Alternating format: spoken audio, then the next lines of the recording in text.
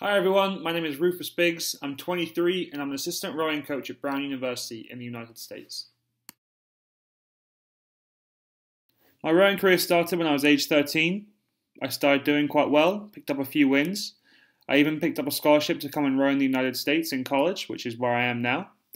And I was actually even fortunate enough along the way to row for Great Britain on a couple of occasions. I'm now an assistant coach at Brown University where we have about 45 under 23 level athletes, all competing in the world's most competitive racing league in the sport of rowing. So therein lies my real interest in S&C and the reasons for pursuing the MSc. Strength and conditioning was a huge part of my own development as an athlete, and now I want to use it as a tool to keep helping my own athletes develop and reach that elite level. And the MSc is a great opportunity for me to underpin my own experiences and theories with some real hard evidence and science.